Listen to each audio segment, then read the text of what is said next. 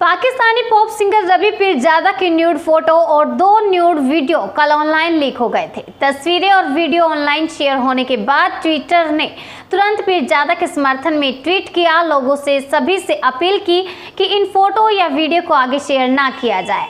हालाँकि बहुत सारे ट्वीट्स ने कहा कि यह घटना इसलिए हुई क्योंकि रवि ने पाकिस्तान के सेना के प्रवक्ता मेजर जनरल आफिस गफूर के खिलाफ ट्वीट किया था। दरअसल, रवि ने एक आइटम सॉन्ग के बचाव में गफूर की आलोचना की। इसी के कुछ घंटों बाद फ़ोटो और वीडियो सोशल मीडिया पर लीक हो गए।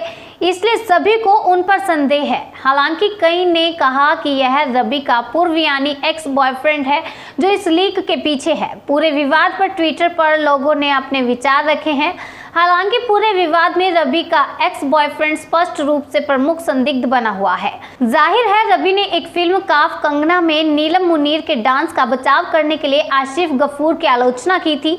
ये गाना अपने लिरिक्स के लिए ऑनलाइन ट्रोल हुआ था, जो भारत को खराब करने का एक घटिया प्रयास था। गाने में नीलम को चारों तरफ़ शराब पीते हुए पुरुषों के साथ नाचते हुए दिखाया गया था गाने के बोलों ने रवि पीरजादा सहित ट्विटर के कई वर्गों को नाराज़ कर दिया, जिसके बाद उन्होंने इसकी आलोचना की।